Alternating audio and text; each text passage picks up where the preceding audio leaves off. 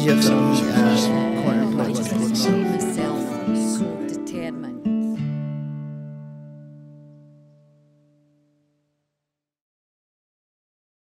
Well, it worked for you the, the first time that you c- became unwell and you got well again.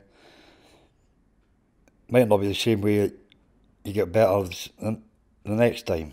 I used to lie in the bed for four o'clock to four o'clock at night Right, uh, and just go back to bed again. right. So, but when I went to so much, I went to the garden and I changed.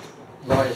So, it So, gave you a chance to It gave us a chance to try different things. Ah, being positive and having a, a nucleus of friends and drop-ins, public houses, cafes, just in the street, you know. places you can go. Yeah, places you can go. We've got things planned on the 11th of maybe March. Uh, doing a Ivor's uh, greenhouse.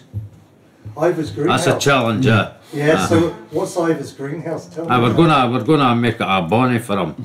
Ah, brilliant. Tidy it You're up and Tidy it up. do it up for him. Ah. yeah. Yeah, Oh, great idea. Brilliant. Ah. When I think about being in the hospital settings, Yeah. people didn't understand you, Ah, so that made it really difficult. Well, what they've done to make a difference is they were very kind to me. Just having somebody that understands you, and Yeah. even in even in your counselling, Yeah. it's people that understand Yes. as well. So that that Yeah. was massive. having somebody who had been through it all as well kind of helped because nobody, I didn't have anybody in my life who had a mental health illness. Um, and it kind of made my life easier because I was able to say to them, look, is this working for you? Or look, did this happen with you? And am I going crazy or is this actually real? Or and it was able I was able to have people to talk to, um, which I don't have on the outside world. Well, recovery is well looking forward to.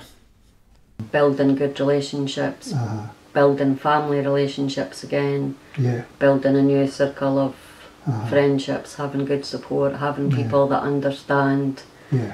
The church is Uh-huh. and my faith is a big part of my recovery. Am I looking for new challenges? Because I put myself forward for new challenges, but it's Yeah. difficult to know Uh-huh. because I've learned that in the past. Yeah. The, the face things got on. What sort of particular challenges would you say? Well, different. Well, I'm going to go back to chrysalis. That's a new challenge.